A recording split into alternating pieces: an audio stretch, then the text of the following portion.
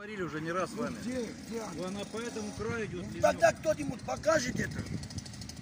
Ну мы же сказали, договаривались, когда с Ну ничего, всю дорогу Так, не скопать, ругайтесь, чтобы найти. не. Давали Вчера, Все, не горячие нашли. финские парни. Да не там, она ответила. Хорошо, это может быть ливневка? Нет. Ливневка, как а? Это так и было. Мы просто Хорошо, здесь что сейчас планируется? Озеленение здесь?